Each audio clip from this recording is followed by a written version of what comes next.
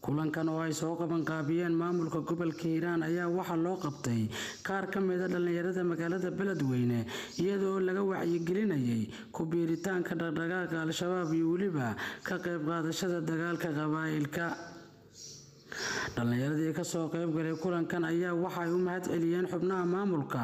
ee kulankan soo qabanqaabiyey waxaana ay sheegeen inay aada u habboon tahay in dhallinyarada xilligan laga wacyigeliyo u adeegitaanka dhaqdhaqaaqa al-shabaab iyo weliba sidoo kale in laga qayb qaato dagaalka qabaa'ilka oo inta badan dhallinyaradu ay saameyn badan ku leeyihiin. Magacaygu waa cigaal cabdulle cilmi ku nool magaalada beledweyne gaar ahaan xaafadda heegan deegaanka habardeero ka socdo waxaan maanta qaadanay brogram aad iyo aad u qiimo badan oo wacyigelin ah wacyigelintaasoo ku saabsanayd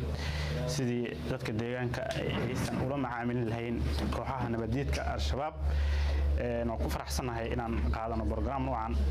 camal waxaan soo dhoweynaynaa brograamyadan in la ballaariyo oo aad iyo aad wacyigelintan loo badiyo dhallinyaradii laga wacyigeliyo haweenka laga wacyigeliyo odayaasha laga wacyigeliyo dhammaan guud ahaan bulshada soomaaliyeed laga wacyigeliyo waxaan sidoo kale ka shaqayn doonaa deegaanadeenna sida ay horumarka iyo wacyigelinta intaan ka faa'idaysana brograamkan aan dadka deegaanka ugu sii gudbin lahayn. Sidoo kale waxaan aad iyo aad ugu mahad celinaya qolada brograamkooda hay'adan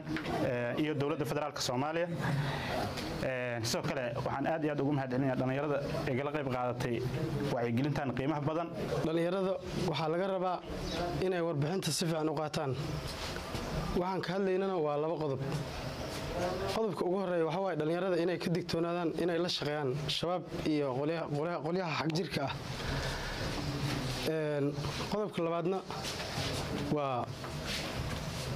dagaalada ama dagaalbeeleedyooyinka dhacaya inay dhallinyarada qayb ka noqonin ay iska ilaaliyaan hay'addii barnaamijkan ka shaqaysan aad ayaan ugu mahad celinaynaa waa dad maaragta bulshada wax badan u qabtay. Annagana waxaan nahay dhallinyarada ka soo jeeda magaalada beledweyne gobolka hiiraan gaar ahaan galbeedka ilaa iyo deegaanka habardeera. Deegaankeenna baaxad ayuu leeyahay in barnaamijkana kan uu ku ekaan lagu celceliyo si marka bulshada wax badan loogu qabo gudoomiye ku-xigeenka dib u heshiisiinta maamulka gobolka hiiraan maxamed maxamuud dhoobey ayaa dhallinyarada kula dardaarmay inay dembi weyn tahay in loo adeego islamarkaana xog la siiyo dhaqdhaqaaqa al-shabaab. Qodob waxaa waaye qodobkan xagjirka ah oo nimankan khawaarijta ah oo ummadda dhiigoodii iyo maalkoodii iyo cirdigoodii iyo diinkoodii iyo sharafkoodii bannaysta in aan lala shaqayn in aan xogtooda xog loo gudbin in aan gacnaha loogu adeegin in aan maal loogu adeegin in cagsigeeda dowladda la garab siiyo xogta la siiyo la garab istaago lalana shaqeeyo brogaraamkan annaga ayaa ugu talagalnay dhallinyarada habardeero. Soomaalian meesha dhallinyarada habardeero inaan si gooniya ula kulanno ugana sheekayno hadduu ilaahay idmo brogaraamkan waxa uu yahay gudoomiye ku-xigeenka siyaasadda iyo maaliyadda maamulka gobolka hiiraan xasan ibraahim cabdulle ayaa dhallinyarada kula dardaarmay in ay wacyigelinta si dhaba u qaataan waxaana sidoo kale uu sheegay in laga fulin doono wacyigelintan deegaano iyo degmooyin badan oo ka tirsan gobolka hiiraan. Looga hadlay iyo sida gudoomiyaha u fafaahiyey in loo qaata dadka kale oo aan ka soo qeybgelina ama fursad aan u helina in lagula shaqeeyo oo la gaarsiiyo wacyigelintaasaan aad u jeclaan lahaa. Bahda midiyaha sidoo kale aad waa mahadsan yihiin. Bahda naga taageerta sidoo kale waa mahadsan yihiin barnaamijka maamulkaas kale barnaamijka maamulka uu codsaday agaasimay in deegaanada dhan qaybihiis kala duwan degmooyin qaar oo fursad u helay in barnaamijkan laga qabto ahaa hordhiciisa u ahaa oo fursadda intay ugu heshay degmadani ahayd. Waana sharfantiin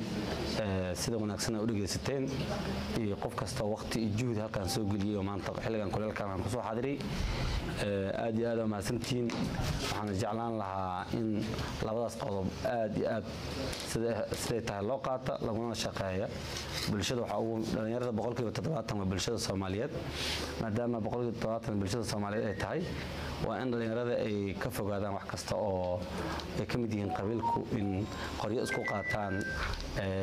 dagaalada sokeeye laga qaybgeli jira inaan laga qaybgelin in laga shaqeeyo horumar iyo barwaaqa in laga shaqeeyo in dugsiyada la aado in laga shaqeeyo in iskuullada la aado.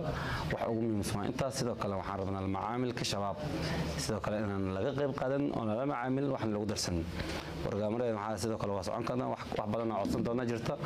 Haddii bulshadaas siday tahay u qaataan barnaamijyada hadda aan fulinay waxaan jeclahay waxaan wax ka ballaaran ama ka muhiimsan inay imaan doonaan. Waana codsanaynaa in barnaamij kale u baahannahay nagala caawiyo waxaa nagala caawin karaa sida quruxda badan u qaadateen hadday u hirgalaan. Barnaamij kasta codsanno iyo meel kastaan ka codsanno in lagu qabto. Hadda waxaan jeclahay howlands kugu nimaadno in geedaha hoostooda iyo meelaha ama ugu muhiimsan iyo baadiyaha iyo tuulooyinka inaan tagi doonno waxaa lagu gaari karaa in gacmaha lisqabsado waa mahadsantihiin qof kastoo soo xadiri cabdirasaaq maxamed cabdulaahi goobjoog t v beledweyn